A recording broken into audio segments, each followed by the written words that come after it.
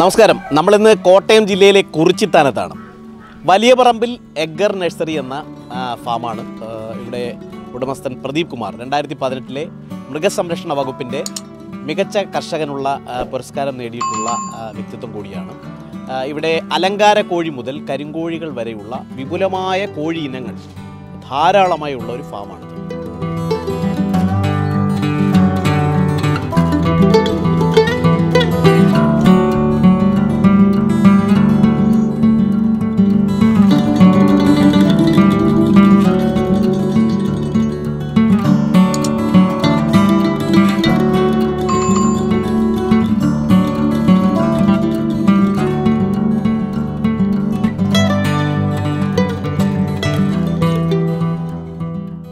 നമസ്കാരം പ്രതിവേട്ട. കോഴി വളർത്തൽ എന്നതിലേക്ക് കേന്ദ്രീകരിക്കാനുണ്ടായ ഒരു സാഹചര്യം എന്താണ് ഞാൻ ഇലക്ട്രോണിക്സ് ഫീൽഡിലായിരുന്നു. അത് കഴിഞ്ഞ് എനിക്ക് പാലായിൽ സ്വന്തമായിട്ടൊരു കമ്പ്യൂട്ടർ സെന്റർ ഉണ്ടായിരുന്നു. ഇതിനിടയ്ക്ക് ചെറിയ ചെറിയ ഈ ജന്മം തൊട്ട് അല്ലെ എന്താ പറയുക ചെറുപ്പകാലം തൊട്ട് വളരെ ചെറുപ്പകാലം തൊട്ട് പക്ഷികൾ മൃഗങ്ങൾ അതൊക്കെ വളരെ ഇഷ്ടമുള്ളൊരു കൂടുതലായിരുന്നു ഞാൻ. തത്ത കിളി ഒക്കെ വളർത്തുന്ന അങ്ങനൊരു സ്വഭാവമുണ്ട്. പ്രത്യേകിച്ച് കോഴികൾ നാടൻ കോഴികളൊക്കെ വീട്ടിലുണ്ടായിരുന്നു. പൊതുവെ ഒരു കൃഷി ആഭിമുഖ്യമുള്ള ഒരു വീടായിരുന്നു. അപ്പോൾ ഈ ഫാം നടത്തി നടത്തുക എന്നുള്ളത് ചെറുപ്പകാലം തൊട്ടേ വലിയ ഇഷ്ടം. എനിക്ക് എന്റെ ഒരു ആഗ്രഹമായിരുന്നു. അങ്ങനെ ഒരു സുപ്രഭാതത്തിൽ നമുക്കൊരു എന്താ പറയുക നമ്മുടെ പെറ്റായിട്ട് വളർത്തിക്കൊണ്ടിരുന്ന പട്ടിക്കുഞ്ഞ് പെട്ടെന്ന് അത് ചത്തുപോയി. അപ്പോൾ ഇവിടെ വീട്ടിലാകെ പ്രശ്നം സങ്കടം കരച്ചിൽ ഇത് മാറ്റാൻ രണ്ട് കോഴിക്കുഞ്ഞുങ്ങളെ അവർക്ക് കൊണ്ട് കൊടുത്തു അതാണ് ശരിക്കും ഇതിന്റെ ഒരു അടിസ്ഥാനം. അങ്ങനെ ആ രണ്ടിൽ തുടങ്ങി ഇന്ന് ഒരു മാസം മൂവായിരം മൂവായിരത്തി അഞ്ഞൂറ് കോഴി കുഞ്ഞുങ്ങൾ കൊടുക്കാൻ പറ്റുന്ന ഒരു ഫാമാക്കി ഞങ്ങളിതിനെ വളർത്തി. ഈ ഇലക്ട്രോണിക്സ് ഫീൽഡ് അതായത് ഞങ്ങളുടെ കമ്പ്യൂട്ടർ സെന്റർ ഇതെല്ലാം ഞങ്ങൾ വിട്ടു. ഇപ്പോൾ ഫുൾ ടൈം ഫാമിലോട്ട് തന്നെ ഞങ്ങൾ ശ്രദ്ധ കേന്ദ്രീകരിച്ചിരിക്കുകയാണ്. ഒരു ദിവസമുള്ള കുഞ്ഞുങ്ങളെ ഉൽപ്പാദിപ്പിച്ച് വിതരണം ചെയ്യുന്നുണ്ട്. ഒന്നര മാസമുള്ള കുഞ്ഞുങ്ങളെ വാക്സിനേഷൻ കഴിഞ്ഞിട്ട് നമ്മൾ വിതരണം ചെയ്യുന്നുണ്ട്. മുട്ടപ്പരുവായ കോഴികളെ വിതരണം ചെയ്യുന്നുണ്ട്. അതുപോലെ തന്നെ നമുക്ക് കുറച്ച് നാടൻ ഇനത്തിൽപ്പെട്ട പശുക്കളുണ്ട് അതായത് നമ്മുടെ റെഡ് സിന്ധി അതുപോലെ തന്നെ വെച്ചൂര് പോലെയുള്ള പശുക്കൾ പിന്നെ എന്താ പറയുക എച്ച് എഫ് പോലെയുള്ള വലിയ പശുക്കളും ഉണ്ട്. പിന്നെ ആടുകൾ നമ്മളിപ്പോൾ നിലവിൽ ആടുകൾ നമ്മൾ കൊടുത്തു. ആടിന്റെ കൂട് പണി നടന്നുകൊണ്ടിരിക്കുകയാണ്. പണി പൂർത്തിയായാൽ ഉടനെ തന്നെ നമ്മൾ വീണ്ടും ആടിനെ കൊണ്ടുവരും. പിന്നെ നമ്മൾ ബയോഫ്ലോക്ക് രീതിയിൽ പടുതാക്കുളങ്ങൾ അതിലൊക്കെ മീൻ കൃഷി ചെയ്യുന്നുണ്ട്. പിന്നെ ഇത് കൂടാതെ നമുക്ക് തേൻ നമുക്ക് തേനീച്ചയുണ്ട്. പുതിയ തലമുറയ്ക്ക് കേട്ടുകേൾവി പോലുമില്ലാത്ത ഇനം തനി നാടൻ ഇനം കോഴിവർഗങ്ങളാണ് ഇവിടെ ഉള്ളത്. അത് ഏതൊക്കെ ഇനമാണെന്നും എന്തുകൊണ്ടാണ് ഈ മേഖല പ്രത്യേകമായി സ്പെസിഫൈ ചെയ്ത് നിൽക്കുന്നത് എന്നുള്ളതും ഇപ്പോൾ പ്രതിവേട്ടൻ നമ്മളോട് വിശദീകരിക്കും. പ്രതിവേട്ട എന്തൊക്കെ ഇനം നാടൻ ബ്രീഡുകളാണ് നമ്മുടെ പക്കലുള്ളത്? നമ്മളിപ്പോൾ ഇവിടെ ചെയ്യുന്നതെന്ന് പറഞ്ഞു കഴിഞ്ഞാൽ തലശ്ശേരി. തലശ്ശേരി കേരളത്തിന്റെ അഭിമാനം എന്ന് പറയാവുന്ന തലശ്ശേരി കോഴികൾ അതുകൂടാതെ പാലക്കാടൻ കോഴികൾ പാലക്കാടൻ പുള്ളിക്കോഴികൾ അതുപോലെ തന്നെ ഓൾഡ് ഇപ്പോൾ ഇപ്പോഴത്തെ ആളുകളൊക്കെ പറയുന്നത് ഓൾഡ് ലൈനേജ് അത് ശരിക്കും പറഞ്ഞാൽ ഓൾഡ് ലൈനേജ് എന്ന് പറഞ്ഞു കഴിഞ്ഞാൽ ഇപ്പോൾ ഈ കുറേ പുതിയ വെറൈറ്റി വന്നതുകൊണ്ടാണ് ഒരു ഓൾഡ് ലൈനേജ് അത് തനിമ നഷ്ടപ്പെടാതെ ആ പുതിയ പഴയ ഇനത്തെ അങ്ങനെ തന്നെ നിലനിർത്തി നമ്മൾ കൊണ്ടുവരുന്നുണ്ട്. ഏകദേശം ഒരു പ്രാവിന്റെ അത്ര വലിപ്പമുള്ള കോഴികൾ നമുക്ക് കാണാൻ സാധിക്കും ഇവിടെ. അതാണ് തനിനാട് അറുപതാം കോഴി എന്നാണ് അതിന്റെ പേര്. ആ അറുപതാം കോഴി എന്ന് പറയുന്നത് അതിന്റെ സ്വഭാവ സവിശേഷത കൊണ്ടാണ് നാൽപ്പത്തഞ്ച് ദിവസം അടയിരുത്ത് മുട്ട വിരിഞ്ഞ് കുഞ്ഞിനെ നാൽപ്പത്തഞ്ച് ദിവസം മാത്രമേ സംരക്ഷിക്കത്തുള്ളൂ. അതിനുശേഷം അത് കൊത്തി പിരിച്ചു കളഞ്ഞിട്ട് അറുപതാം ദിവസം വീണ്ടും മുട്ടയിടാൻ ആരംഭിക്കും. വളരെ ചെറിയ കോഴിയാണ്. ശത്രുക്കളിൽ നിന്ന് രക്ഷപ്പെടാനായിട്ട് വളരെ ഫാസ്റ്റായിട്ട് അതിന് കഴിയും. അത് ബോഡി വെയിറ്റ് ഇല്ല. പറന്ന് മരങ്ങളിൽ കയറാം. അതുപോലെ തന്നെ എവിടെയെങ്കിലും ഓടി ഒളിക്കാം. അങ്ങനെയൊക്കെ ചെയ്യാൻ പറ്റുന്നതുകൊണ്ട് അത് ശത്രുക്കളിൽ നിന്ന് രക്ഷപ്പെടും. അപ്പോൾ അങ്ങനെയുള്ള ഒരു കോഴി തനി നാട് പ്യുവർ നാട് പക്ഷേ ഇപ്പോഴത്തെ തലമുറയ്ക്ക് അതൊന്നും ഇഷ്ടപ്പെടില്ല. കാരണം ഇപ്പോഴത്തെ തലമുറയ്ക്ക് വേണ്ടത് ഡെയിലി മുട്ടയിടുന്ന അതായത് ഒരു ആ ബി വി ത്രീ എയ്റ്റി പോലെയുള്ള അല്ലെങ്കിൽ എന്താ പറയുന്നത് വലിയ മുട്ടയുള്ള കോഴികളൊക്കെ. ഇതൊന്നും അതല്ല. ഈ ആൾക്കാർ പറയുന്നുണ്ട് നാടൻ മുട്ടയും മറ്റേ മുട്ടയും എല്ലാം മുട്ടയാണെന്ന് പറയുന്നുണ്ട്. പക്ഷെ അങ്ങനെയാണെങ്കിൽ എനിക്ക് ചില കാര്യങ്ങൾ ഈ കൈയും കാലും ഒക്കെ ഉളുക്കുമ്പോൾ ഈ മുട്ടവെള്ളയും ചെന്നിതായും കൂടെ അരച്ചിടും. ഒരു ബി വി ത്രീയുടെ മുട്ടവെള്ള അരച്ചിട്ട് കഴിഞ്ഞാൽ പശ പിടിക്കുന്നില്ല. എന്തുകൊണ്ടാണ് ഇതിന്റെ നല്ല പശയാ. ഇത് ഒട്ടിച്ചു കഴിഞ്ഞാൽ കീറിയെടുക്കാനേ പറ്റത്തുള്ളൂ. അല്ലാതെ അല്ല കണ്ടിച്ചെടുക്കാനേ പറ്റത്തുള്ളൂ. മറ്റേത് ആ പശ ഇല്ല വെറും പച്ചവെള്ളം പോലെ ഇരിക്കുന്നത് ആ അപ്പം ഇതിനകത്ത് എന്തെങ്കിലും ഒരു മറ്റതിൽ നിന്ന് വ്യത്യാസം ഉണ്ടായിട്ടായിരിക്കുമല്ലോ അങ്ങനെ ആ ഒരു പശപ്പ് കിട്ടുന്നത്. അതെ അതെ അതുപോലെ തന്നെ നാടൻ കോഴിയുടെയും ബി വി ത്രീ മറ്റ് ആർട്ടിഫിഷ്യൽ കോഴിയുടെ ഒരു വ്യത്യാസം ഞാൻ പറയാം. നമ്മുടെ ഈ ചെറിയ പഴുതാര തേൾ ഇതൊക്കെ ചെറിയ പാമ്പ് കുഞ്ഞൊക്കെ പോകുമ്പോൾ നാടൻ കോഴി കുത്തി തിന്നും. B V three eighty rocket പോലെ വിട്ടുപോകും. കോഴികളെ. ഓടിക്കളയും ഇത് ഈ തേളിനെ കൊത്തി വിഴുങ്ങുന്ന സമയം ജീവനോടെ തന്നെയാണ് കൊത്തി വിഴുങ്ങുന്നത്. ഈ കൊത്തി വിഴുങ്ങുന്ന സമയത്ത് ഇതിന് എത്ര കൊത്ത് കിട്ടും?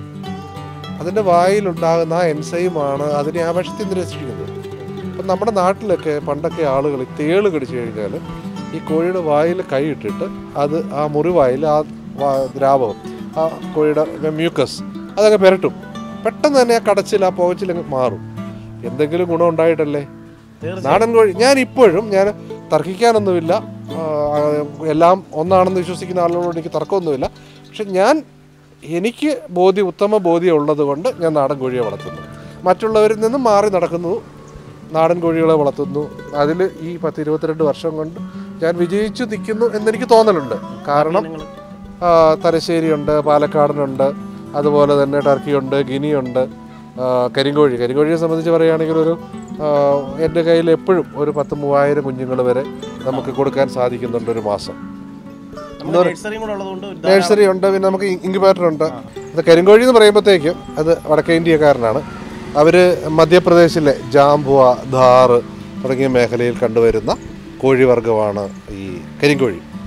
നമ്മുടെ നാട്ടിലൊക്കെ കറുത്ത കോഴികളെയൊക്കെ പ്രത്യേകിച്ച് തിരുവനന്തപുരം കൊല്ലം പത്തനംതിട്ട ജില്ലയിലൊക്കെ കറുത്ത കോഴികളെല്ലാം കരിങ്കോഴികളാണ് കറുത്ത കോഴികളെല്ലാം കരിങ്കോഴികളാണെന്നും പറഞ്ഞ് ആളുകളെ പറ്റിക്കുന്ന ധാരാളം ആളുകളുണ്ട്. നമുക്കറിയാം ചിലർ മേടിച്ചിട്ട് ഫോട്ടോ ഇട്ട് തരും. ചേട്ടാ ഇത് കരിങ്കോഴിയാണോ എന്ന് ചോദിക്കാറുണ്ട്. നമുക്ക് അല്ല എന്ന് നമുക്ക് ഉത്തമ ബോധ്യമുള്ളതുകൊണ്ട് അല്ല എന്ന് പറയാറുണ്ട്. ഇവിടെ വന്നു കഴിഞ്ഞാൽ നിങ്ങൾക്ക് കാണാം. കരിങ്കോഴിയുടെ പൂവ് അതിന്റെ കണ്ണ് ചുണ്ടുകൾ വായ്ക്കുള്ളിലെ വശം അതുപോലെ അതിന്റെ സ്കിന്ന് തൊലിയെ കാലുകൾ എല്ലാം ഒരൊറ്റ കളറായിരിക്കും. പിന്നെ അതിനകത്തൊരു വ്യത്യാസം എന്ന് പറഞ്ഞു കഴിഞ്ഞാൽ ചില കോഴികളുടെ ഈ കഴുത്തിന് ചുറ്റും ആ, ഒരു ശരീരത്തെ പൂവൻ കോഴികൾക്ക് ഗോൾഡൻ കളറിൽ സിൽവർ കളറിൽ കോഴി വരാറുണ്ട്. ഇതാണ് കരിങ്കോഴി. ഈ കോഴികളുടെ ശരീരത്ത് ഈ കറുപ്പ് നിറം അതായത് നമ്മുടെ തൊലിക്ക് കളറിൽ നിന്ന് മെലാനിൻ എന്ന രാസവസ്തു കൂടുതലായിട്ട് അടങ്ങിയിരിക്കുന്നതുകൊണ്ടാണ് കറുപ്പ് നിറമുള്ളത് ഈ കറുപ്പ് നിറം കൂടുതലായിട്ട് കണ്ടുവരുന്ന കോഴികളാണ് കരിങ്കോഴികൾ. എന്നാൽ എല്ലാ കറ തൂവൽ കറുത്തിരിക്കുന്ന കോഴികളും കരിങ്കോഴികളാണെന്ന് പ്രചരിപ്പിച്ച് വിൽക്കുന്ന ധാരാളം ആളുകളുണ്ട്. അവ മറ്റുള്ള ആളുകൾക്ക് എങ്ങനെ കരിങ്കോഴികളെ കണ്ടാൽ തിരിച്ചറിയാം എന്ന് ഞാനൊന്ന് കാണിച്ചു തരാം. ഒന്നാമതായിട്ട് ഒന്നാമതായിട്ട് നമ്മൾ നോക്കേണ്ടത് ഇവരുടെ തൊലി. ഇതാ തൊലി കണ്ടാൽ നമുക്കറിയാം. കറുത്ത തൊലി. ഇതാ ഇതുപോലെ നല്ല കറുത്ത തൊലി. ഏത് കോഴിയെ നോക്കിയാലും ഇതുപോലെ കറുത്ത തൊലി ആയിരിക്കണം ഇതാണ് ഒന്നാമത്തെ കാര്യം. രണ്ടാമത്തെ കാര്യം ഈ കോഴികളുടെ കണ്ണുകൾ ഇതാ നിങ്ങൾക്ക് നോക്കിയാൽ കാണാം. ഇവരുടെ കണ്ണുകൾ ഇതുപോലെ കറുത്ത ഒരു മുത്ത് പോലെ ഇരിക്കണം. ഇപ്പോൾ മറ്റുള്ള കോഴികളാണെങ്കിൽ ഒരു റെഡ് കളയോ ഒരു വലയോ ഒക്കെ അതിന് ചുറ്റും ഒരു വട്ടമൊക്കെ കാണും. ഇതങ്ങനെയില്ല. കറുത്ത ഒരു മുത്ത് വെച്ചിരിക്കുന്ന പോലെ ഇരിക്കും. മൂന്നാമത്തെ കാര്യം അവരുടെ ചുണ്ടുകൾ ചുണ്ടുകൾ കറുത്ത ചുണ്ടായിരിക്കും. ഇതുണ്ടോ ഫുൾ കറുത്ത. ഇതാ ഫുള്ള് കറുത്ത ചുണ്ട്. ഇത് കൂടാതെ പൂവ് കറുത്ത പൂവ്. പിന്നെ അവരുടെ മെലാനിന്റെ ശരീരത്തിൽ മെലാനിന്റെ അളവനുസരിച്ച് വായിക്കാവും. ഇതാ കറുത്ത വായിക്കാവും കറുപ്പായിരിക്കും. ഇപ്പോൾ ഞാൻ നിങ്ങൾ കണ്ടല്ലോ ആ പണിക്കാരനോട് ഏതെങ്കിലും ഒരു കോഴിയെ പിടിക്കാനാണ് പറഞ്ഞത്. അല്ല സെലക്ട് ചെയ്ത് പിടിച്ചൊന്നുമല്ല. അപ്പോൾ എല്ലാ കോഴികളും ഇങ്ങനെ തന്നെയൊക്കെ ഇരിക്കണം. അപ്പോൾ അതുകൊണ്ട് ഇപ്പോൾ ഇതാ വായിക്കാവും ഇതുപോലെ കറുത്തതായിരിക്കും. അതുപോലെ തന്നെ ഇതാ അവരുടെ കാലുകൾ നോക്കിയാൽ ഇതാ കാലുകളിലേക്ക് നോക്കും. കാലുകൾ ഇതുപോലെ കാലുകൾ ഇതുപോലെ കറുത്ത കാലായിരിക്കും. പിന്നെ അവരുടെ പിന്നെ ഇപ്പോൾ നമുക്ക് കാണാനുള്ളത് അവരുടെ ഇറച്ചിയാണ്. അപ്പോൾ നമുക്ക് നോക്കിയാൽ കാണാം. ഇതാ അവരുടെ മാംസം. ഇതാ ഈ മലദ്വാരം അവരുടെ വെന്റ് നമുക്ക് നോക്കിയാൽ കാണാം. ഫുള്ളായിട്ട് കറുത്ത കളറാണ് ഈ വെന്റിന്. ഇതാണ് ഒരു കരിങ്കോഴിയെ കണ്ടാൽ നമുക്ക് തിരിച്ചറിയാനുള്ള മാർഗം. പിന്നെ എല്ലാവരും പറയുന്നുണ്ട് നാല് കിലോ ഉള്ള കരിങ്കോഴി അഞ്ച് കിലോ ഉള്ളു. ഇത് നാല് മാസമായ ഒരു കരിങ്കോഴിയാണ്. കഷ്ടിച്ച് ഒരു മുക്കാൽ കിലോ ഒക്കെ ഉണ്ട് ഇപ്പോൾ മുട്ടയിടുന്ന സമയത്ത് ഒരു കിലോ വരെ ആകാം. അത്രയേ ഉള്ളൂ. ഇതൊരു നാടൻ കോഴിയാണ്. നാടൻ ജിൻസിൽപ്പെട്ട ഒരു കോഴിയാണ്. അപ്പോൾ എനിക്ക് അത്രയേ വെയിറ്റ് ഉള്ളൂ. ഇനി ക്രോസ് ചെയ്ത് മറ്റുള്ള കോഴികളുമായിട്ട് പ്രേമത്തിലൊക്കെ അല്ലെങ്കിൽ വെയിറ്റ് ഉള്ള മറ്റ് നമ്മുടെ ഈ ഗ്രാമശ്രീയോ അങ്ങനെയൊക്കെ കോഴികളുമായിട്ട് ഒരുമിച്ച് നടക്കുമ്പോൾ ക്രോസായി വണ്ണമുള്ള കോഴി ഉണ്ടാവും. അപ്പോൾ അത് ഉണ്ടായി കഴിയുമ്പോൾ പറയും ഇത് കരിങ്കോഴിയാണ് വെയിറ്റ് ഉള്ള ഇനമാണ് എന്നൊക്കെ പറയും. അതുപോലെ തന്നെ കരിങ്കോഴിയിൽ കഴുത്തിൽ തൂവലില്ലാത്ത കരിങ്കോഴിയില്ല. പ്രത്യേകം ശ്രദ്ധിക്കുക. അതുപോലെ കുറുങ്കാലി കരിങ്കോഴിയിലില്ല. തൊപ്പിക്കോഴി കരിങ്കോഴിയിലില്ല. അതുപോലെ തന്നെ ഈ ഫ്രില്ല് കാപ്പിരിക്കോഴി അല്ലെ മുള്ളൻകോഴി എന്ന് പറയുന്നത് അതും കരിങ്കോഴിയിലില്ല. ഇതൊക്കെ കൈരളിയിലാണ്. കരിങ്കോഴിയും മറ്റുള്ള കോഴികളും മിക്സ് ചെയ്ത് ഉണ്ടാക്കി ഉണ്ടാക്കിയ കോഴിയാണ്. അതിനകത്താണ് ഈ പറയുന്ന കോഴികൾ അത് കൈരളി ഇനത്തിലാണ്. കരിങ്കോഴിയിൽ ഒരിക്കലും അതില്ല. അതായത് ഇതിന്റെ തൂവൽ നോക്കി തിളങ്ങുന്ന തൂവലുകളാണ് ഈ. മേളിലെ തൂവൽ കണ്ടോ? ബ്ലൂ കളർ ഇത്. ഇതൊക്കെ നോക്കിയാൽ കാണാം. ഈ തിളങ്ങുന്നത്. ഉണ്ടോ ഇങ്ങനെ ബ്ലൂയിഷ് തൂവലുകളാണ് അവർക്കുണ്ടാകുന്നത്. ഇത് വലുതാകും തോറും കുറേ കൂടെ ഭംഗിയായിട്ട് ഈ തൂവലുകൾ വരും. പ്രതിപേട്ട ഇതിന് ഏകദേശം പ്രൈസ് ഒക്കെ എങ്ങനെയാണ്? ഇത് പ്രൈസ് എന്ന് പറഞ്ഞാൽ നമ്മൾ ഒന്നര മാസം പ്രായമായ ഒരു കരിങ്കോഴിക്ക് നമ്മളിപ്പോൾ വിൽക്കുന്നത് നൂറ്റി എഴുപത്തഞ്ച് രൂപയ്ക്കാണ്. ഒരു ദിവസം ആയത് വിൽക്കുന്നത് അറുപത് രൂപയ്ക്കാണ്. അതുപോലെ തന്നെ നമ്മൾ ഇപ്പോൾ നാല് മാസം വിൽക്കുന്നത് നാനൂറ് രൂപയ്ക്കാണ്. മുട്ട ഇടാൻ തുടങ്ങിയ ഒരു കോഴിക്ക് ആയിരം രൂപയ്ക്കാണ് ഇപ്പോൾ വിൽക്കുന്നത്. ഇത് ഔഷധ ഗുണമുള്ള ഒരു ഇനം കരികോഴി എന്ന് പറയുന്നത് ഔഷധ ഗുണമുള്ളതാണ്. ഈ എന്റെ അനുഭവത്തിൽ ഞാൻ തെളിവുകൾ സഹിതം നിങ്ങൾക്ക് കാണിച്ചു തരാം. സ്ത്രീകൾക്ക് ഉണ്ടാകുന്ന ഫൈബ്രോയിഡിന് ഏറ്റവും നല്ല ഒരു മരുന്ന്. സ്ത്രീകൾക്ക് യൂട്രസിനുണ്ടാകുന്ന ഫൈബ്രോയിഡിന് ഏറ്റവും നല്ലൊരു മരുന്ന്. കാരണം എന്റെ വൈഫ് യൂട്രസിനകത്ത് ഫൈബ്രോയിഡ് ഉണ്ടായിരുന്നു. ഇത് ഇതിന്റെ മുട്ടയും ഇറച്ചിയും ഉപയോഗിച്ച് ഫൈബ്രോയിഡ് മാറി. അതിനുശേഷം ഞങ്ങൾക്കൊരു കുഞ്ഞുണ്ടായത്. അപ്പോൾ അത് എന്റെ അനുഭവമാണ്. പക്ഷേ ചില ആളുകളൊക്കെ ചോദിക്കും ഇത് ഇത് നിങ്ങളുടെ ഇപ്പോൾ ഈ വീഡിയോ ഇറങ്ങുന്ന സമയത്ത് ചില ആളുകൾ ചോദിക്കും സയന്റിഫിക്കലി പ്രൂവ്ഡ് ആണെന്ന് കാരണം ഇപ്പോൾ നമുക്ക് ഏറ്റവും കൂടുതൽ ആളുകൾക്ക് വേണ്ടത് സയന്റിഫിക്കലി പ്രൂവ്ഡ് ആണ്. ഇത് സയന്റിഫിക്കലി പ്രൂവ്ഡ് അല്ല. ഇഷ്ടമുള്ള ആളുകൾക്ക് താല്പര്യമുള്ള ആളുകൾക്ക് കഴിച്ച് നോക്കി ബോധ്യപ്പെടാം. എനിക്കതേ പറയാൻ പറ്റത്തുള്ളൂ. കാരണം എന്റെ അനുഭവത്തിൽ ധാരാളം ആളുകൾക്ക് കുഞ്ഞുങ്ങളുണ്ടായ ചരിത്രം എന്റെ അനുഭവത്തിലുണ്ട്. മെഷീനുകൾക്ക് പോലും കണ്ടുപിടിക്കാത്ത ശരീരത്തുണ്ടാവുന്ന ചെറിയ ബ്ലോക്കുകൾ ഇത് ഉപയോഗിച്ച് മാറിയിട്ടുണ്ട്. രണ്ട് ഹൃദ്രോഗികൾ ഹൃദ്രോഗികൾക്ക് വളരെ നല്ലൊരു സാധനമാണ്. പ്രായമായ ആളുകൾക്ക് ഈ മൂവ്മെന്റ് അതായത് ചിലപ്പോൾ അവർ ഈ ജോയിന്റൊക്കെ നീര് വെച്ച് അവർക്ക് എണീറ്റ് കുറേ നിന്നിട്ട് വേണം നടക്കാൻ. ഇവിടെ സ്ഥിരം കുറേ കസ്റ്റമറുണ്ട് നമുക്ക് പ്രായമായ അവർ പറയുന്നത് ഞങ്ങൾ മറ്റത് മെഡിസിൻ മേടിച്ച് കഴിച്ചിട്ടാണ് ഞങ്ങൾ അതിന്റെ സൈഡ് എഫക്റ്റ് ഞങ്ങൾ തക്കണം ഇതെന്ന് പറഞ്ഞാൽ ഇതിന്റെ മുട്ടയല്ലേ? ഒന്നുമില്ലെങ്കിലും മുട്ടയല്ലേ? കുഴപ്പമില്ല. ഇനി ഗുണമുണ്ടായാലും ദോഷം ഉണ്ടായാലും ഞങ്ങൾ കഴിക്കുക എന്ന് പറഞ്ഞ് കഴിച്ച് സ്ഥിരം ആളുകൾ കഴിക്കുന്നുണ്ട്. അപ്പോൾ അതുകൊണ്ട് മാർക്കറ്റ് എന്നെ സംബന്ധിച്ച് മാർക്കറ്റ് ഒരു വിഷയമേ അല്ല. നല്ല സാധനം ഉണ്ടെങ്കിൽ ഇപ്പം നമ്മുടെ നാട്ടിലേക്ക് ഒരു പഴഞ്ചൊല്ലുണ്ട്. പത്താഴത്തിൽ നെല്ലുണ്ട് എലി പാലക്കാട്ടിൽ നിന്ന് വരുമെന്ന് എന്ന് പറഞ്ഞ പോലെ നല്ലതുണ്ടെങ്കിൽ ആളുകൾ അന്വേഷിച്ച് വരുമെന്ന് ഉത്തമ വിശ്വാസമുള്ള ഒരാളാണ് ഞാൻ.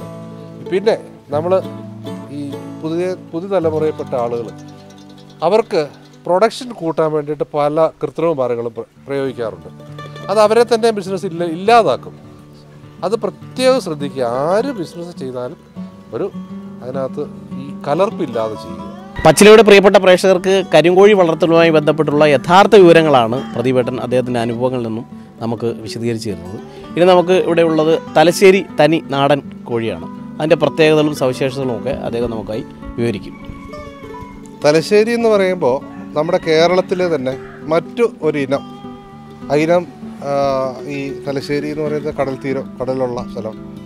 അവിടുത്തെ ആ അന്തരീക്ഷത്തിൽ ഉരുത്തിരിഞ്ഞ അല്ലെങ്കിൽ ആ കാലാവസ്ഥയ്ക്ക് അനുയോജ്യമായ ഒരു കോഴിയാണ്.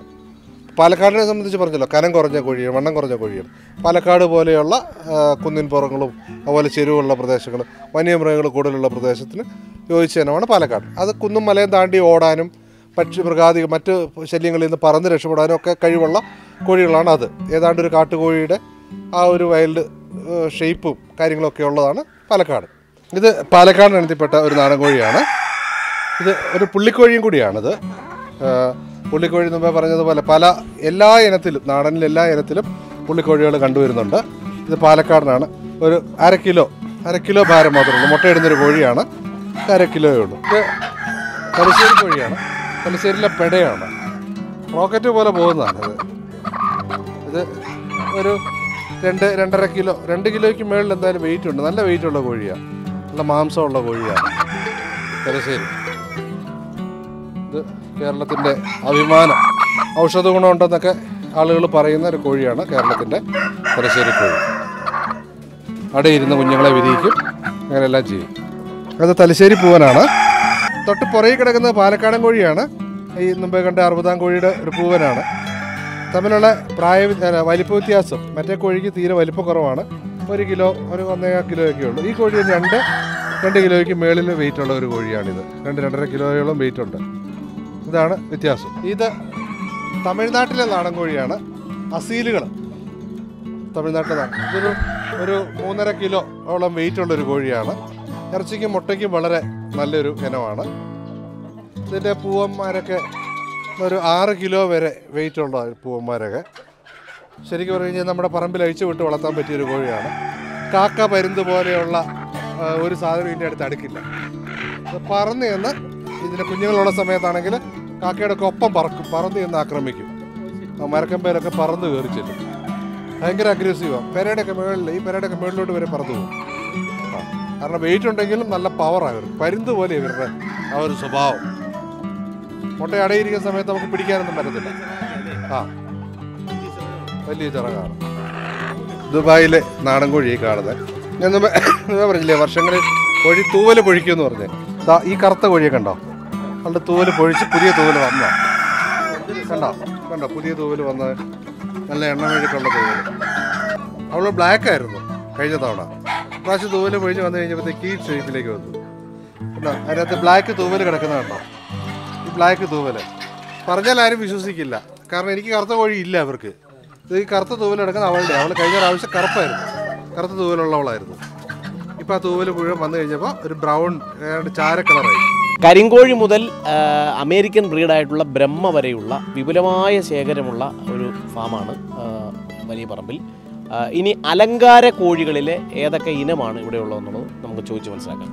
ചേട്ടാ അലങ്കാര കോഴി ഒത്തിരി സൈസ് ഇവിടെ ഉണ്ട്. അല്ലേ? ഒരുപാട് സൈസ് അലങ്കാര കോഴികൾ എന്ന് പറഞ്ഞു കഴിഞ്ഞാൽ നമുക്ക് ബ്രഹ്മയുണ്ട് ഇറ്റാലിയൻ ബാൻഡം ഗെയിം ബാൻഡം അതുപോലെ തന്നെ പോളിഷ് ക്യാപ്പുകൾ ഏതാണ്ട് നാൽപ്പതോളം വെറൈറ്റിയാണ് അലങ്കാര കോഴികൾ നമുക്കുണ്ടായിരുന്നത്. ഇപ്പോൾ അലങ്കാര കോഴി കുറച്ച് നമ്മളൊന്ന് കുറച്ച് വെച്ചിരിക്കുകയാണ്. കാരണം കെയർ എല്ലാത്തിനും കൂടെ സാധിക്കുന്നില്ല. ഇത് ഈ ബ്രഹ്മ കോഴിയാണ്. ബ്രഹ്മ അമേരിക്കൻ ബ്രീഡാണ്. ഇത് വളരെ വലിപ്പമുള്ള കോഴികളാണ്. ഇപ്പോൾ ഒരു ബ്രഹ്മയെ സംബന്ധിച്ച് ഈ കാലിലെ ബൂട്ട് കാലിലെ ബൂട്ടുകളൊരു ഘടകമാണ്. അതുപോലെ തന്നെ എന്റെ ഈ പൂവ് ഇതിങ്ങനെ നേരെ നിൽക്കുന്ന പൂവാണെങ്കിൽ ഇത് ക്വാളിറ്റി ഇല്ല. അതുപോലെ തന്നെ അതിന് ബഫ് കൊച്ചിന് ഒക്കെയാണ് പൂവ് നേരെ നിൽക്കുന്നത്. ഇതിലെ വ്യത്യാസം എന്ന് പറഞ്ഞു കഴിഞ്ഞാൽ ജയന്റ് കൊച്ചിനും ഇതിന്റെ തമ്മിൽ വ്യത്യാസം തന്നെ പൂവിനുള്ള വ്യത്യാസമാണുള്ളത് അപ്പോൾ ഇതിന്റെ പൂവ് ഈ താട ഈ താട അതുപോലെ തന്നെ കളറുകൾ അതുപോലെ കാലിലെ ബൂട്ട് ഇതൊക്കെയാണ് ഒരു ബ്രഹ്മ നല്ല ബ്രഹ്മ എങ്ങനെയാണെന്ന് അറിയുന്നത്. ലോകത്തിലെ ഏറ്റവും വലിയ കോഴിയും ഏറ്റവും ചെറിയ കോഴിയും നമ്മുടെ മക്കളുണ്ട് അതെ അതെ അതെ. രണ്ടും നമ്മുടെ അടുത്തുണ്ട് ഗെയിം ബാൻഡാണ് ഏറ്റവും ചെറുത് അതുപോലെ ബ്രഹ്മയാണ് ഏറ്റവും വലുത്. ഇത് രണ്ടും നമ്മൾ ഇതിന്റെയൊക്കെ പ്രൈസ് എന്ത് വരും? ബ്രഹ്മയെ സംബന്ധിച്ച് ഒരു ആറായിരം രൂപ തൊട്ട് പന്തിരായിരം രൂപ വരെ ഞാനവൻ ക്വാളിറ്റി അനുസരിച്ച് വ്യത്യാസം വരും. അതുപോലെ എന്റെ വൈറ്റ് കൊളംബിയൻ ബ്രഹ്മ നാൽപ്പതിനായിരം രൂപയൊക്കെയാണ് വില. ഇപ്പോൾ വില കുറ കുറച്ച് കുറഞ്ഞിട്ടുണ്ട്. എന്നാലും മുപ്പത് മുപ്പത്തഞ്ച് രൂപ അതിന് വിലയുണ്ട്. ചെറിയ കോഴികളുണ്ട് ചെറിയ കോഴികളെന്ന് പറഞ്ഞു കഴിഞ്ഞാൽ ഒരു പതിനയ്യായിരം പതിനാറായിരം രൂപയൊക്കെ ചെറിയ കോഴികൾക്ക് വരും നേരത്തെ നല്ല വിലയുണ്ടായിരുന്നു. ഇപ്പോഴത്തെ ഒരു അവസ്ഥ ഇതാണ്. ഇത് ബ്രഹ്മയുടെ ഒരു പടക്കോഴിയാണ്. മുട്ടയിട്ടോണ്ടിരിക്കുന്ന ഒരു പടക്കോഴിയാണ്. ഇത് പാട്ടിടിച്ച് ബ്രഹ്മ. ഇതിന്റെ ഈ തൂവലുകൾക്കുള്ള നല്ലൊരു ഭംഗിയുള്ള കളറ് ആണ്. ഏതാണ്ടൊരു മയിലിന്റെയൊക്കെ ഡിസൈൻ പോലെ. മയിൽപ്പീലിയുടെ ഡിസൈനാണ് ഇവൾക്ക്. കൊഴിച്ച് കളയൂ അല്ലേ?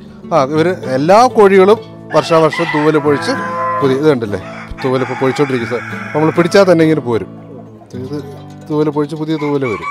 പുതിയ തൂവൽ വരുമ്പോൾ നല്ല ഭംഗിയായിരിക്കും കാണാൻ. അപ്പോൾ ഇതിന്റെ വളർച്ചയുടെ വിവിധ ഘട്ടങ്ങൾ അല്ലെങ്കിൽ ഇതിന്റെ രീതികൾ എങ്ങനെയാണത് അതായത് ഞാൻ പറഞ്ഞല്ലോ ട്രെയിനിങ് ഞാൻ മുട്ട തൊട്ട് മുട്ട വരെ.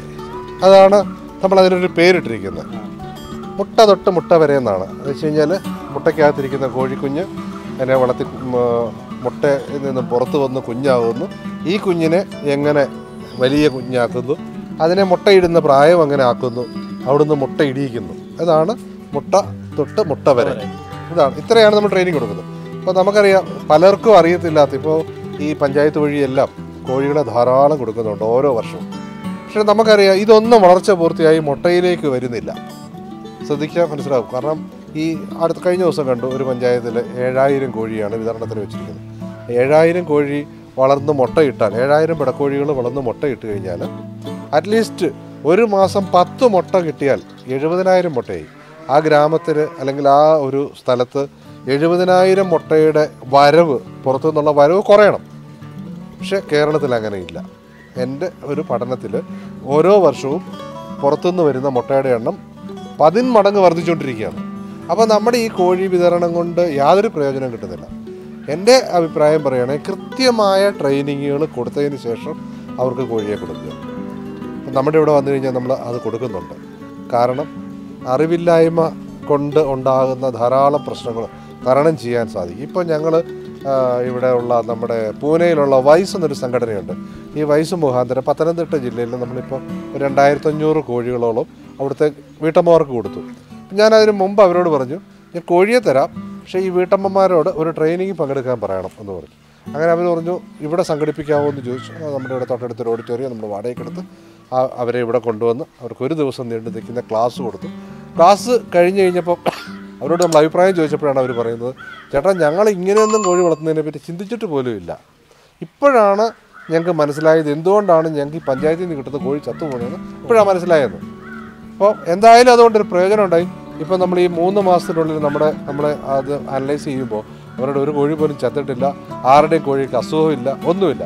അപ്പോൾ എന്തായാലും അത് സക്സസ് ആയി അപ്പം നമ്മൾ എന്തെങ്കിലും ഒരു പ്രവൃത്തി കൊണ്ട് നമ്മൾ ഉദ്ദേശിക്കുന്നത് അതിന്റെ വിജയമാണ് അല്ലാതെ അത് കൊടുത്ത് ആ നഷ്ടം ഉണ്ടാക്കുന്നത് ഇപ്പം ഒരു വീട്ടമ്മയ്ക്ക് ഫ്രീ ആയിട്ട് കോഴിയെ കൊടുത്താൽ പോലും അത് വളർന്ന് വരുന്നിടം വരെ തീറ്റ അതിന് കൊടുക്കണം. ഈ കോഴി ചത്തുപോയി കഴിഞ്ഞാൽ ആ തീറ്റ ഉണ്ടാകുന്ന നഷ്ടം ആ വീട്ടമ്മയ്ക്ക് ഒരു നഷ്ടം തന്നെയാണ് അപ്പോൾ അതിൽ നിന്നും കര കയറണമെങ്കിൽ അവർക്ക് കൃത്യമായ ട്രെയിനിങ് വേണം. അപ്പോൾ കോഴി ഉണ്ടായി കഴിഞ്ഞാൽ എന്ത് ചെയ്യണം? ഇപ്പോൾ നമുക്കറിയാം പലർക്കും അറിയാം കോഴി പണ്ട് കാലത്തൊക്കെ അടയിരുന്ന് കുഞ്ഞുങ്ങൾ വിരിയുമ്പോൾ ആ അമ്മക്കോഴി കുഞ്ഞുങ്ങളെ കൊണ്ടു നടക്കുന്നത്. അപ്പോൾ അതിന്റെ ചൂട് കൊടുത്ത് അതിനെ വളർത്തിയെടുക്കും. ഈ ചൂട് കൃത്രിമമായിട്ട് കൊടുക്കാനായിട്ട് നമ്മളിവരെ പഠിപ്പിച്ചു കൊടുക്കുന്നുണ്ട്. അപ്പോൾ ബ്രൂഡിംഗ് എന്നാണ് അതിന്റെ പേര്. ഈ ബ്രൂഡ് എങ്ങനെയാണ് ബ്രൂഡ് ചെയ്യുന്നത്? ആ കോഴിക്ക് എത്ര ദിവസം ചെയ്യണം? അതെങ്ങനെ ചെയ്യണം? ഈ കാര്യങ്ങൾ പഠിപ്പിച്ചു കൊടുക്കും. വാക്സിൻ. നമുക്കറിയാം നമ്മുടെ അന്തരീക്ഷത്തിൽ ധാരാളം രോഗാണുക്കളുള്ള ഒരു അന്തരീക്ഷമാണ്. പ്രത്യേകിച്ച് കേരളത്തിൽ ഹ്യൂമിഡിറ്റി കൂടുതലാണ് ഈർപ്പം കൂടുതലാണ് അപ്പോൾ ഈർപ്പം കൂടുതലാണ് ഈ രോഗാണുക്കൾക്ക് വളരാനുള്ള ചാൻസ് കൂടുതലാണ്. ഒരു അസുഖം പൊട്ടി പൊട്ടി പുറപ്പെട്ട് കഴിഞ്ഞാൽ ഇപ്പോൾ നമുക്കറിയാം താറാവ് വസന്തയൊക്കെ വന്നു കഴിഞ്ഞാൽ ഒരു ഏരിയ മൊത്തം നമുക്ക് നഷ്ടപ്പെട്ടു പോവുകയാണ്. അപ്പം കോഴി വസന്ത വന്നാൽ അത് തന്നെയാണ്. അപ്പോൾ ഈ കോഴി വസന്ത വരാതിരിക്കാൻ എന്ത് ചെയ്യണം? എന്താണ് കോഴി വസന്ത വരാതിരിക്കാൻ ചെയ്യേണ്ടത്? അതിന് വാക്സിനുണ്ട്. ആ വാക്സിൻ ഏതൊക്കെ ദിവസം? ഇപ്പോൾ നമുക്കറിയാം കോഴിക്കുഞ്ഞുങ്ങളുണ്ടായാൽ കൃത്യമായും ഏഴാം ദിവസം പതിനാലാം ദിവസം ഇരുപത്തൊന്നാം ദിവസം ഇരുപത്തെട്ടാം ദിവസം. ഇത്രയും വാക്സിനുകൾ കൃത്യമായി കൊടുത്ത് മുപ്പത്തിയഞ്ചാമത്തെ ദിവസം വരെ ഇളക്കി നാൽപ്പത്തഞ്ചാമത്തെ ദിവസം ആർ ടു ബി എന്ന് പറഞ്ഞ ഒരു വാക്സിൻ ചെറിയ എടുത്തു കഴിഞ്ഞാൽ ആ കോഴികൾ സേഫാണ്. ഈ കോഴി കോഴി വസന്തയോ അല്ലെങ്കിൽ കാൽ തളർന്നു പോകുന്ന അസുഖങ്ങളോ അതൊന്നും ഉണ്ടാവില്ല. അപ്പോൾ അവർക്ക് ഈ കിട്ടുന്ന കോഴിക്കുഞ്ഞുങ്ങളെ അവർ തന്നെ ഒന്ന് വളർത്തിയെടുക്കാൻ പ്രാപ്തരാക്കിയാൽ അടുത്ത ഒരു അതായത് ഒരു ഒരു വർഷത്തിന് ശേഷം അത്രയും മുട്ടയുടെ ഉൽപ്പാദനം ഇവിടെ കൂടും അപ്പോൾ ഈ ഗവൺമെന്റ് തലത്തിൽ ഞാൻ എപ്പോഴും ഉദ്യോഗസ്ഥരോടാണെങ്കിലും ഈ പഞ്ചായത്ത് മെമ്പർമാരോടൊക്കെ ഞാൻ പറയാറുണ്ട്. നിങ്ങൾ ഒരിക്കലും ഈ ഫ്രീ ആയിട്ട് കോഴിക്കുഞ്ഞുങ്ങളെ കൊടുക്കാതെ ഇതുപോലുള്ള ട്രെയിനിങ്ങുകളും തീറ്റ സബ്സിഡിയും അവർക്ക് കൊടുക്കുക. അപ്പോൾ അതിൽ നിന്ന് നമുക്ക് പ്രൊഡക്ഷൻ കിട്ടും. അപ്പോൾ അല്ലെങ്കിൽ ഇപ്പോൾ ഞാൻ ഇപ്പോൾ കോഴി വളർത്തുന്നുണ്ട്. ഞാൻ കോഴി വളർത്തുന്നത് എനിക്ക് പത്ത് കോഴിയെ കൂടെ കിട്ടിയിട്ടൊരു കാര്യമില്ല. എനിക്ക് വേണ്ടത് കിടക്കുന്ന കോഴിക്ക് ഒരു തീറ്റ സബ്സിഡി ഞാൻ തീറ്റ വാങ്ങിക്കുന്ന തീറ്റയ്ക്ക് വില കുറച്ച് കഴിഞ്ഞാൽ എനിക്ക് പ്രൊഡക്ഷൻ അതനുസരിച്ച് ഉയർത്താൻ പറ്റും. അപ്പം എന്താ പറയുന്നത് അഞ്ച് രൂപയ്ക്ക് എനിക്ക് മുട്ട കൊടുക്കാനായിട്ട് മൂന്ന് രൂപയുടെ തീറ്റയുള്ള എനിക്ക് അഞ്ച് രൂപയ്ക്ക് മുട്ട കൊടുക്കാം. പക്ഷേ ആറ് രൂപയുടെ തീറ്റ കൊടുത്താൽ അഞ്ച് രൂപയ്ക്ക് മുട്ട കൊടുക്കാൻ സാധിക്കില്ല. അപ്പം തീറ്റ സബ്സിഡി പോലുള്ള കാര്യങ്ങൾ ഗവൺമെന്റ് തലത്തിൽ നിന്ന് ചെയ്തു കഴിഞ്ഞാൽ നമുക്ക് ധാരാളമായിട്ട് കേരളത്തിൽ ആവശ്യമുള്ള മുട്ടയും മാംസവും കേരളത്തിൽ തന്നെ ഉൽപ്പാദിപ്പിക്കാൻ സാധിക്കും. ഇതാണ് നമ്മളിവിടെ കൊടുക്കുന്ന ട്രെയിനിങ്ങിന്റെ ആ ഒരു രീതി. കോഴികളെ വളർത്തുന്ന രീതി അതാണ്. മുട്ട മുതൽ മുട്ട വരെ എന്ന ഒരു ഹാഷ്ടാഗാണ് വലിയ പറമ്പിൽ നഴ്സറിയുടേത്. മുട്ടയുമായി ബന്ധപ്പെട്ട് പലതരം നാട്ട് ചൊല്ലുകളുണ്ട്. മുട്ടയാണോ ആദ്യം ഉണ്ടായത് കോഴിയാണോ ആദ്യം ഉണ്ടായത് എന്ന്. മുട്ട വിരിയുന്നത് എങ്ങനെയാണെന്ന് നമുക്ക് കൗതുകരമായ ഒരു ഉത്തരമാണ് ഞങ്ങൾ സ്വകാര്യമായി ചോദിച്ചപ്പോൾ പറഞ്ഞത്. നിങ്ങളുമായി പങ്കുവെക്കാം. എങ്ങനെയാണ് മുട്ട വിരിയുന്നതിന്റെ ഒരു പ്രോസസ്സ് കൃത്യമായത്? അതായത് എല്ലാ ആളുകളും ധരിച്ചു വെച്ചിരിക്കുന്ന എല്ലാ മുട്ടയും വിരിയുമെന്ന്. എല്ലാ മുട്ടയും വിരിയില്ല. ഇപ്പോൾ ഇവിടെ നിന്ന് നമ്മൾ മെഷീൻ കൊണ്ടുപോയ എനിക്ക് വളരെ ഹാസ്യമായിട്ട് അതായത് തമാശയായിട്ട് തോന്നിയ ഒരു കാര്യമുണ്ട്. അദ്ദേഹം എന്റെ അടുത്ത് വിളിച്ചു ചോദിച്ചു മെഷീൻ കൊണ്ടുപോയി? മുട്ട നോക്കിയിട്ട് നാട്ടിലെങ്ങുമില്ല. ഞാൻ മുട്ടക്കടയിൽ നിൽക്കുവാണ്. ഒരു നൂറ് ലഗോൺ മുട്ട വാങ്ങി വെക്കട്ടെ എന്ന് ചോദിച്ചു. ഞാൻ ചിരിച്ചുകൊണ്ട് പറഞ്ഞു സഹോദര ഇത് മുട്ട വേവിക്കുന്ന മെഷീനല്ല മുട്ട വിരിയിക്കുന്ന മെഷീനാണ് അപ്പോൾ ഇത് ചോദിച്ചാൽ അതിന് അത് മുട്ടയില്ലെന്ന് ചോദിച്ചു. എല്ലാവരും ധരിച്ചു വെച്ചിരിക്കുന്ന എല്ലാ മുട്ടയും വിരിയുമെന്ന്. എന്നാൽ ഈ കേരളത്തിന് പുറത്തുനിന്ന് വരുന്ന ലഗോൺ മുട്ടയ്ക്കകത്ത് പുരുഷന്റെ അതായത് പൂവൻ കോഴിയുടെ സാന്നിധ്യം ഇല്ലാതെ വരുന്ന മുട്ടകളാണ്. അപ്പോൾ അത് ഭ്രൂണമില്ലാത്ത മുട്ടയാണ്. ഈ മുട്ട ഞാൻ മുമ്പേ ചോദിച്ചതുപോലെ ചിലരോട് ചോദിക്കും മുട്ടയുടെ മഞ്ഞക്കരുവാണോ കുഞ്ഞുണ്ടാകുന്നത് അല്ല വെള്ളക്കരുവാണോ? ചിലർ പറയും വെള്ളക്കരുവാന്ന് പറയും. ചിലർ പറയും മഞ്ഞക്കരുവാണ് എന്നാൽ ഇത് രണ്ടും അല്ല. ഈ മുട്ടയുടെ കുഞ്ഞുണ്ടാകുന്നത്. അതിന് മുകളിൽ ഒരു കണ്ണീർ തുള്ളി പോലെ ഒരു ഭാഗമുണ്ട്. അതാണ് എംബ്രിയോ അഥവാ ഭ്രൂണം. ഈ ഭ്രൂണത്തിന് കഴിക്കാനുള്ള ഫുഡാണ് മഞ്ഞക്കരു അതിന് കിടന്ന് വളരാനുള്ള ആംനിയോട്ടിക് ഫ്ലൂഡ് നമ്മുടെ അമ്മയുടെ ഗർഭപാത്രത്തിലുള്ള ആ ഫ്ലൂഡ് അതാണ് ആ മുട്ടയുടെ വെള്ളക്കരു. ഇത് പലർക്കും അറിയത്തില്ല. അപ്പോൾ എണ ചേർന്ന മുട്ട മാത്രമേ വിരിഞ്ഞു വരത്തുള്ളൂ. അപ്പോൾ നമ്മൾ എപ്പോഴും മുട്ട ഈ വലിയ വലിയ ഹാച്ചറികളിലൊക്കെ ക്യാൻഡിലേക്ക് എന്ന് പറഞ്ഞൊരു പ്രോസസ്സുണ്ട് മുട്ട എടുത്തിട്ട് പണ്ട് ഈ ക്യാൻഡിലിംഗ് എന്ന് പറഞ്ഞ് വെട്ടത്തിനടിയിലെല്ലാം മെഴുതിരിക്കല്ല ടോർച്ച് പോലെയുള്ള ലൈറ്റിനടിയിൽ വെച്ച് നോക്കിയാൽ ഇതിനകത്ത് ഭ്രൂണം ഉണ്ടോ ഇല്ലയോ എന്ന് കാണാം. അപ്പോൾ അങ്ങനെ ചെയ്തതിന് ശേഷമാണ് മുട്ട മിഷീനകത്ത് വെക്കേണ്ടത്. അപ്പോൾ അതും പൂർണമായിട്ട് വിരിയും. ഇപ്പോൾ ചിലരൊക്കെ മിഷീൻ കൊണ്ടുപോയിട്ട് പറയും ഞാൻ അവിടുന്ന് മുട്ട മേടിച്ച് വെച്ചു. മുട്ടയൊന്നും വിരിഞ്ഞില്ല. അപ്പോൾ നമ്മൾ ചെന്ന് ഈ മുട്ട പൊട്ടിച്ച് നോക്കുമ്പോൾ നമ്മൾ പുതിയ മുട്ട പൊട്ടിച്ചാൽ എങ്ങനെ ഇരിക്കും എന്ന് പറഞ്ഞ പോലെ തന്നെ മഞ്ഞക്കരുവും വെള്ളക്കരുവും ഇതിനകത്ത് കാണാൻ സാധിക്കും.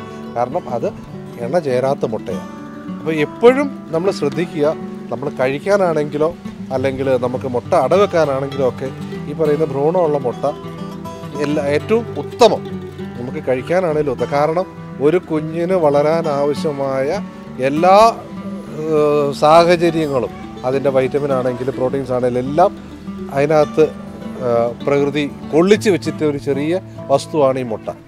ഈ ചിലരോട് പറയും വെള്ളക്കരു കഴിക്കണ്ട ചിലരോട് പറയും മഞ്ഞക്കരു കഴിക്കണ്ട. നമ്മുടെയൊക്കെ എന്റെയൊക്കെ ചെറുപ്പത്തിൽ ഈ മാഗസിൻസിന്റെയൊക്കെ അകത്ത് ഒരു ഫുൾ പേജ് പരസ്യം ഉണ്ടായിരുന്നു.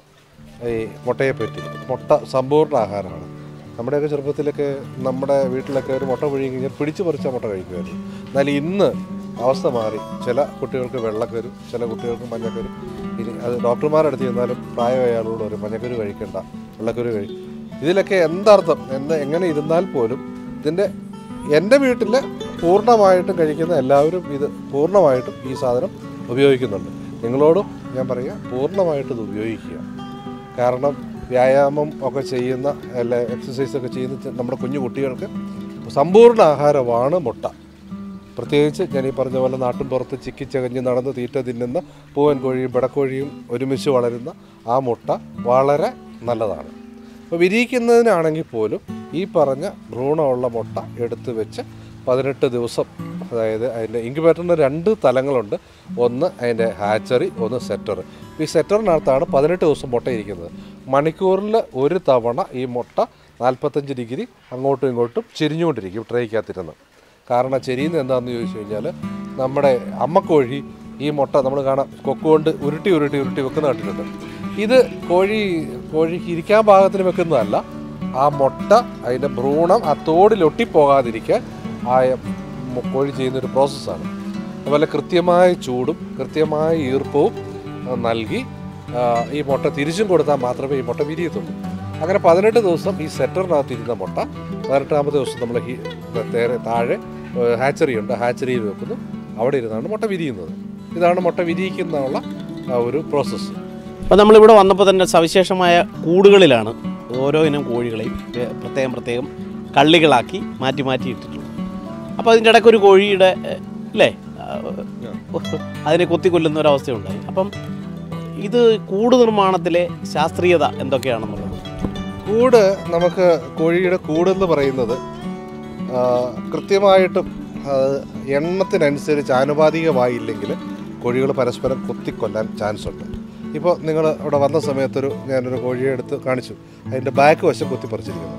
അതെന്താണെന്ന് ചോദിച്ചു കഴിഞ്ഞാൽ ഈ കോഴികൾ ആ കിടക്കുന്ന സ്ഥലം തിങ്ങി നിറഞ്ഞാണ് കിടക്കുന്നതെങ്കിൽ അവർക്ക് അവരുടേതായ ആധിപത്യം ഉറപ്പിക്കാൻ വേണ്ടി അതിനകത്ത് ശക്തിയില്ലാത്ത ആളിനെ അവരാക്രമിക്കും അങ്ങനെ അതിനെ കൊന്നുകളയും ഇടയുണ്ടാക്കുന്നതാണത്. ആ കൂടിൽ അവർ പാകത്തിന് ഇടയുണ്ടാക്കിയെടുക്കുന്നതാണ്. അപ്പോൾ അത് പ്രത്യേകം ശ്രദ്ധിക്കുക. നമുക്ക് സാധാരണഗതിയിൽ ഇപ്പോൾ പറയുന്നത് ഷെഡൊക്കെ ആണെങ്കിൽ രണ്ട് സ്ക്വയർ ഫീറ്റാണ് ഒരു കോഴിക്ക് വേണ്ടത്. ചെറിയ ഈ കമ്പിക്കൂടുകളൊക്കെ ആണെങ്കിൽ നമുക്കൊരു ഒന്നര സ്ക്വയർ ഫീറ്റ് എങ്കിലും അവർക്ക് നമ്മൾ കൊടുക്കണം. എന്നാൽ മാത്രമേ നമുക്ക് കൃത്യമായിട്ട് മുട്ടയൊക്കെ കിട്ടത്തുള്ളൂ. കൂട് ഉണ്ടാക്കുമ്പോഴത്തേക്കും നമുക്ക് ഇപ്പോൾ ഹൈടെക് കൂടൊക്കെ വരുന്നുണ്ട്. ഇത് പുറത്തുനിന്നൊക്കെ നമ്മൾക്കിപ്പോൾ ഹൈടെക് കൂടുകൾ ഉണ്ടാക്കി കൊടുക്കുന്നുണ്ട്.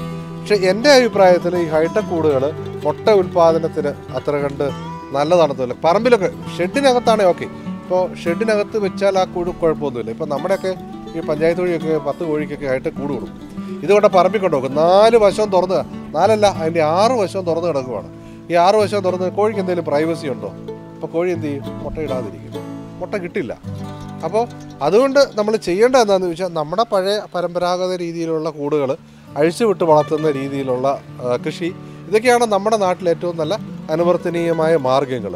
പിന്നെ രക്ഷയില്ലാത്ത ആളുകൾ മാത്രം ഹൈടെക് കേജിലേക്ക് പോവുക അപ്പം നമ്മളെ സംബന്ധിച്ച് ഇപ്പോൾ നിങ്ങൾ കണ്ട സെപ്പറേറ്റ് കൂടുകൾ എന്ന് പറഞ്ഞാൽ നമ്മൾ ഓരോ ബ്രീഡിനെയും സെപ്പറേറ്റ് ചെയ്താണ് ഇടുന്നത്. കാരണം വംശശുദ്ധി നഷ്ടപ്പെടാതെ അതിനെ ക്രോസ് ആവാതിരിക്കുന്നതിന് വേണ്ടിയിട്ടാണ് നമ്മൾ ഓരോ കൂടിനെയും കാരണം അന്നേരം തൽക്കാലത്തിൽ പൈസ കൂടുതലാണെങ്കിൽ പോലും നമുക്കിത് ഇടകലർന്ന് മിക്സ് ആവാതിരിക്കാൻ അങ്ങനെയാണ് നമ്മളിതെല്ലാം സെപ്പറേറ്റ് ചെയ്തിട്ടിരിക്കുന്നത്. അതുകൊണ്ടാണ് ഈ പ്യുവർ ബ്രീഡ് നമ്മൾ കൊടുക്കാൻ സാധിക്കുന്നത്. നമ്മൾ ഈ ഫാമിലേക്ക് വരുമ്പോൾ തന്നെ ഇത്രയും സാധനങ്ങൾ ഇവിടെ ഉണ്ട്. പക്ഷെ ഒരു സ്മെല്ല് പോലും ഇല്ല. സാധാരണ കോഴി വളർത്തൽ കേന്ദ്രങ്ങൾ കന്നുകാലികളുള്ള ഇടം ബയോഫ്ലോക്ക് ഇതെല്ലാം ഈ വീടിന് ചുറ്റുമാണ്. പക്ഷെ ഒരു സ്മെല്ല് ഞങ്ങൾക്ക് ഫീൽ ചെയ്യുന്നില്ല. എങ്ങനെയാണിത് ഇത് ഇത് ഈ ഇത്രയും വൃത്തിയായി നമുക്ക് ഇത് ചെയ്യാൻ കഴിയുന്നത്? ഈ കഴിഞ്ഞ ഇരുപത്തിരണ്ട് വർഷമായിട്ട് വിവിധ ചാനലുകളിൽ നിങ്ങൾക്ക് കാണാം. മറ്റു വീഡിയോ ഒക്കെ എടുത്ത് ചോദിച്ചാലും അതിനകത്തൊക്കെ ആ ചോദ്യകർത്താവ് എന്നോട് ഈ ചോദ്യം ചോദിക്കുന്നുണ്ട്. കാരണം നമ്മൾ ചെയ്യുന്നത് നമ്മൾക്ക് വേണ്ടിയാണ്. മനസ്സിലായോ? ഇപ്പോൾ ഇപ്പോൾ ദുർഗന്ധം വന്നാൽ അയൽവക്കംകാർ കേസിന് പോകും അല്ലെങ്കിൽ വഴക്കിന് പോകും അതൊക്കെ രണ്ടാമത്തെ കാര്യമാണ് നമ്മളാണ് ഇതിനോട് ഏറ്റവും അടുത്ത് കിടക്കുന്നത് അല്ലേ? അപ്പം നമ്മുടെ അയൽവക്കക്കാർക്ക് ഒരു നൂറ് മീറ്റർ അല്ലെങ്കിൽ ഇരുന്നൂറ് മീറ്റർ അപ്പുറത്താണ്. നമുക്കൊരു പത്ത് മീറ്റർ പോലും ഇല്ല അപ്പം നമ്മുടെ മക്കളുടെ സുരക്ഷ നമ്മൾ നോക്കണം. കൃത്യമായിട്ട് ഈ സംരക്ഷിക്കുക എന്നുള്ളതാണ് അതിന്റെ ഏറ്റവും നല്ല കാര്യം ഒന്നാമത്തെ കാര്യം.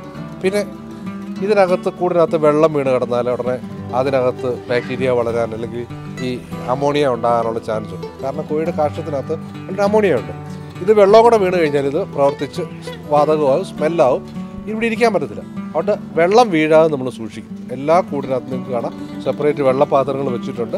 ആ വെള്ളപാത്രം ടൈറ്റായിട്ട് കെട്ടി വെച്ചിരിക്കുക. ഒരു തുള്ളി വെള്ളം കൂടിനകത്ത് വീഴാതെ.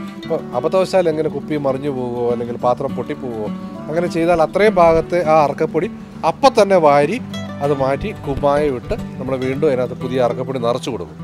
അപ്പോൾ അതുകൊണ്ടാണ് നമുക്ക് സ്മെല്ലില്ലാതെ. പിന്നെ രണ്ട് ഈ വാരുന്ന കാഷ്ടം നമ്മൾ കമ്പോസ്റ്റ് ചെയ്യുകയാണ് വളമാക്കി മാറ്റുകയാണ് നമ്മുടെ ഇവിടെ കാണുന്ന കൃഷി. ഇപ്പോൾ നിങ്ങൾക്ക് കാണാം പത്ത് നൂറ്റി എൺപത് വാഴ കുലച്ച് നിൽപ്പുണ്ട് പുറയിൽ ഒരു രാസവളവും ഒരു രാസവളവും ഇതുവരെ അതിനിട്ടിട്ടില്ല.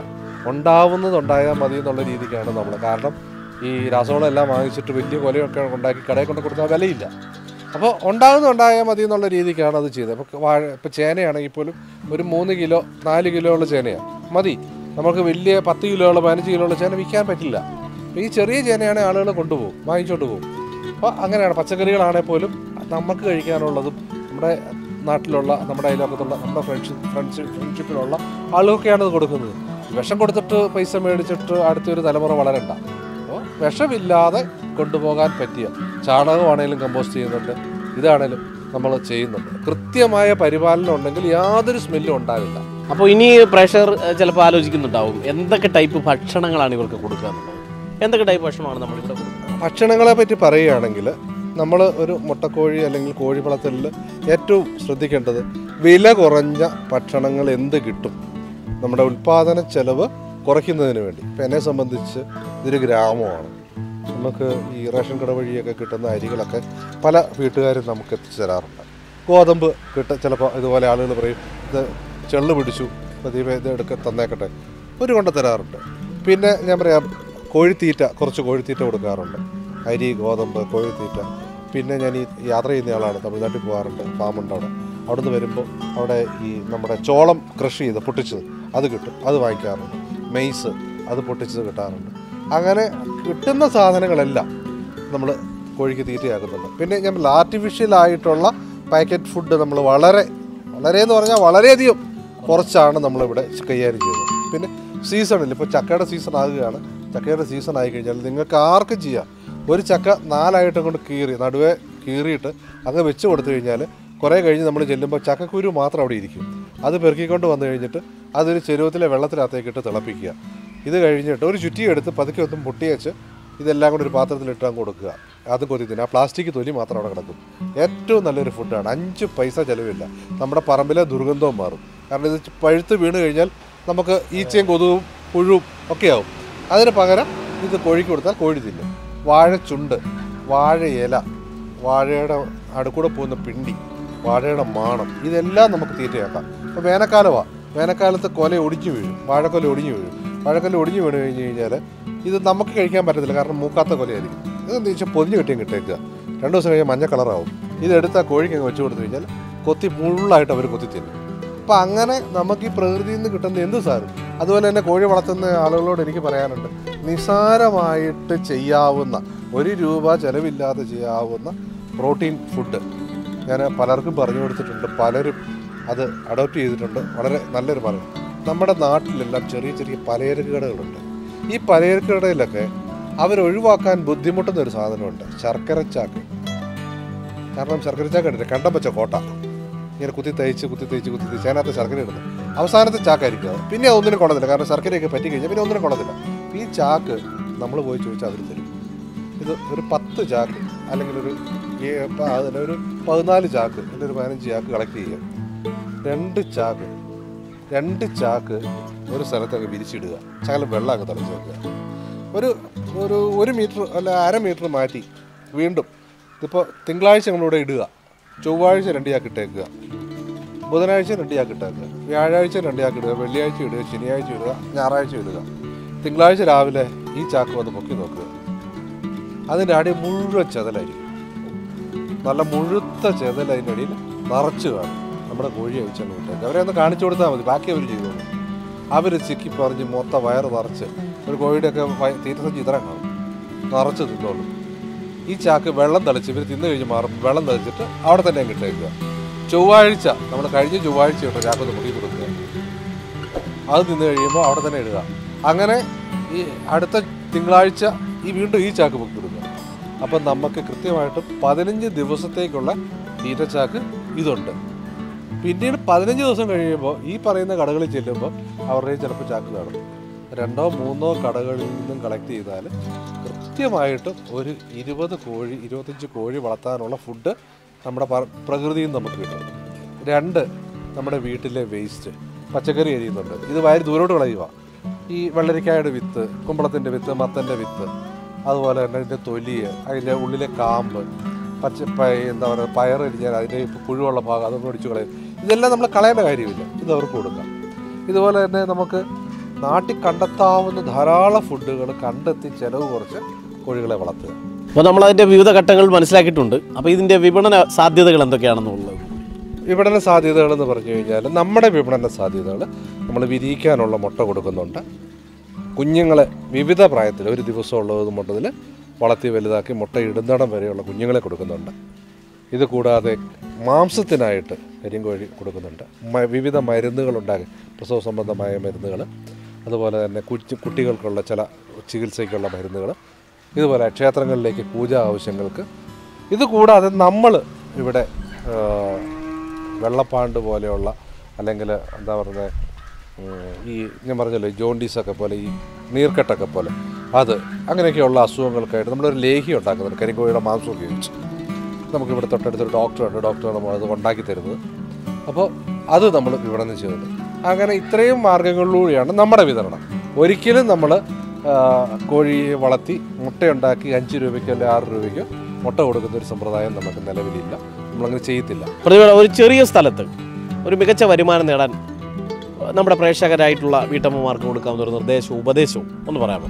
അതായത് ഒരു വീട്ടമ്മയ്ക്ക് ഇരുപത് മുട്ട ഒരു ദിവസം ഉൽപ്പാദിപ്പിക്കാൻ വലിയ അധ്വാനമൊന്നും ആവശ്യമില്ല. ഒരു ഇരുപത്തഞ്ച് കോഴിയെ വളർത്തിയാൽ ഇരുപത് മുട്ട. ഒരു അഞ്ച് സെന്റ് സ്ഥലത്തുണ്ടെങ്കിൽ ഇരുപത് കോഴി ഇരുപത്തഞ്ച് മുട്ട കിട്ടാൻ ഇരുപത് മുട്ട കിട്ടാനുള്ള സംവിധാനം ഉണ്ടാക്കാം.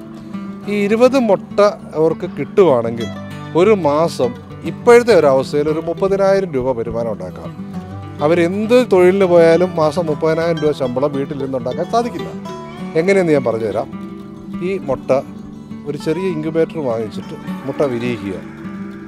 ഞങ്ങളൊക്കെ അഞ്ഞൂറ് ഇങ്ക് മുട്ട വെക്കുന്ന ഇങ്കുബേറ്റർ കൊടുക്കുന്നുണ്ട്. അപ്പോൾ നമ്മൾ ശരിക്കും പറഞ്ഞാൽ ഇരുപത് മുട്ട അഞ്ച് ദിവസം കൂടുമ്പോൾ നൂറ് മുട്ടയാവും. ഈ നൂറ് മുട്ട ഒന്നാമത്തെ ദിവസം നമ്മൾ ഇതിനകത്ത് ട്രേക്കകത്ത് വെക്കുക. വീണ്ടും ഒരു അഞ്ച് ദിവസം നൂറാവും. അപ്പോൾ നമ്മൾ രണ്ടാമത്തെ ട്രെയിൽ വെക്കുക. വീണ്ടും അഞ്ച് ദിവസം കഴിയുമ്പോൾ മൂന്നാമത്തെ ട്രേ വെക്കുക. വീണ്ടും ഒരു അഞ്ച് ദിവസം കഴിയുമ്പോൾ നാലാമത്തെ ട്രേ വെക്കുക. വീണ്ടും ഒരു അഞ്ച് ദിവസം കഴിയുമ്പോൾ അഞ്ചാമത്തെ ട്രേ വെക്കുക. ആദ്യത്തെ സീറോ ആണ്. അഞ്ച് പത്ത് പതിനഞ്ച് ഇരുപത്. ഇരുപതാമത്തെ ദിവസം നമ്മൾ അഞ്ചാമത്തെ ട്രേ വെച്ചു. അപ്പം അഞ്ഞൂറ് മുട്ടയും നമുക്ക് ഇരുപത്തൊന്നാമത്തെ ദിവസം മുട്ട വിരിയുമല്ലോ. വീണ്ടും ഇരുപതാമത്തെ ട്രേ വെക്കാം. വീണ്ടും ഇരുപത്തി എട്ടാമത്തെ ദിവസം വീണ്ടും വെക്കാം. അങ്ങനെ മുപ്പത് ദിവസം കൊണ്ട് നമുക്ക് എഴുന്നൂറ് മുട്ടയാണ് ഈ മിഷനകത്തേക്ക് പോകുന്നത്. നമുക്ക് ഇരുന്നൂറ് മുട്ട പോയാലും അഞ്ഞൂറ് കുഞ്ഞുങ്ങൾ പുറത്തു വരും. ഇങ്ങനെ അഞ്ഞൂറ് കുഞ്ഞ് പുറത്തു വന്നാൽ നാടൻ കോഴിക്ക് ഇപ്പോഴത്തെ ഒരവസ്ഥയ്ക്ക് എഴുപത്തഞ്ച് രൂപ തൊട്ട് നൂറ് രൂപ വരെ വിലയുണ്ട്. മനസ്സിലായോ? ഞാൻ അധികം ഒന്നും പറഞ്ഞൂറ് കുഞ്ഞ് എഴുപത്തഞ്ച് രൂപ വെച്ച് എത്ര രൂപയായി? മുപ്പത്തയ്യായിരം രൂപയ്ക്ക് മേളിൽ വരുമാനമായി. ഇതിനകത്തുനിന്ന് അയ്യായിരം രൂപ ഇരുപത് കോഴിയുടെ തീറ്റയ്ക്കായിട്ട് മാറ്റി വെച്ചു. വരുമാനം മുപ്പതിനായിരം രൂപയുണ്ട്. ഒരു വീട്ടമ്മയ്ക്ക് മാന്യമായ ഒരു വരുമാനമല്ലേ ഇത്? ഈ മുപ്പതിനായിരം രൂപ എന്ന് മാന്യമായ ഒരു വരുമാനം. ഇത് ഞാനൊരു വീഡിയോയിൽ ഇത് പറഞ്ഞു കഴിഞ്ഞപ്പോൾ പലരും എനിക്ക് കിറുക്കാന്ന് പറഞ്ഞു. പക്ഷേ ഈ കിറുക്ക് അറിഞ്ഞ പല കിറുക്കികളും കിറുക്കന്മാരും ഇപ്പോൾ ഇത് അനുഭവിക്കുന്നുണ്ട് ഈ സുഖം. നാളെ നിങ്ങൾക്കാർക്കും ഇത് ചെയ്യാം. ഇതിന് വേണ്ട എന്തെങ്കിലും സംശയങ്ങളോ കാര്യങ്ങളോ ഉണ്ടെങ്കിൽ എന്നോട് ചോദിച്ചു കഴിഞ്ഞാൽ ഞാൻ അവർക്ക് ഫ്രീ ക്ലിയർ ആയിട്ട് കാര്യങ്ങൾ സംശയങ്ങൾ തീർത്തു കൊടുക്കാം. അത് ഏത് സമയവും എന്റെ നമ്പറിൽ വിളിച്ചു കഴിഞ്ഞാൽ ഞാൻ ചെയ്തു കൊടുക്കാം. അസുഖങ്ങളാണെങ്കിലും ശരി മുട്ട എങ്ങനെ വിരിയിക്കുന്ന കാര്യമാണെങ്കിൽ ശരി മാർക്കറ്റിങ് അതായത് നാടൻ കോഴികളെ വളർത്തി എവിടെ കൊടുക്കണം എങ്ങനെ കൊടുക്കണം ഇതുള്ള കാര്യങ്ങളാണെങ്കിലും ഒക്കെ നമുക്ക് പറഞ്ഞു കൊടുക്കാൻ സാധിക്കും. കേവലം മുപ്പത്തിയൊമ്പത് സെന്റിൽ മുപ്പത്തിയൊമ്പത് ഏക്കറിൽ ചെയ്യാവുന്ന അത്രയും കാര്യങ്ങൾ ചെയ്തിട്ടുണ്ട് ഈ വീട്ടിൽ. നമുക്കും മാതൃകയാക്കാം. വീട്ടമ്മമാർക്ക് ഒരു അധിക വരുമാനം എന്നുള്ള രീതിയിൽ ഇതൊക്കെ മാതൃകയാക്കി ചെയ്യാവുന്നതാണ്. ഒരു മാതൃകാ കുടുംബം ഭാര്യ മകൾ എല്ലാവരും സഹായത്തിനുണ്ട്. തീർച്ചയായും ഒരു മാതൃകാ ഫാം അല്ലെങ്കിൽ ഒരു മാതൃകാ ഫാം സ്കൂൾ എന്നുള്ള നിലയിലേക്ക് ഈ സ്ഥാപനം ഉയർന്നു തന്നെ നിൽക്കുകയാണ്. എല്ലാവിധമായ ഭാഗവും